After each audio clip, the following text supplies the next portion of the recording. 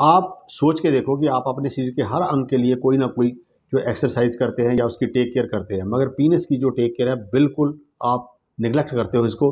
अगर इससे हाथ भी लग जाता है तो आप उसको हैंड वॉश करते हो या हैंड को स्टरलाइज करते हो। मगर देखा जाए तो अगर आप अपने पीनस की टेक केयर नहीं करोगे तो आपकी जो सेक्सुअल लाइफ है वो ज़्यादा सेटिस्फैक्ट्री नहीं होगी। तो इसके लिए छोटी छोटी दो एक्सरसाइज आती हैं, जो आपके लिए अति आवश्यक है। पहली एक्सरसाइज ये है कि आप पेशाब करने के लिए खड़े हुए, आपको पेशाब पूरे ज़ोर से आना शुरू हो गया, एकदम पेशाब रोकना, फिर करना, फिर रोकना, फिर करना, फिर रोकना।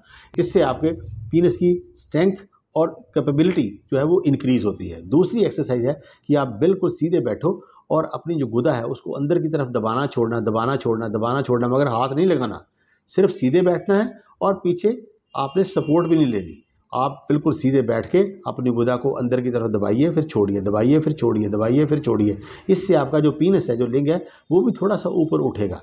इससे आपके लिंग की ब्लड सप्लाई जो है, वो इनक्रीज़ होगी और आपके लिंग की लेंथ और स्ट्रेंथ है, वो भी मेनटेन होगी।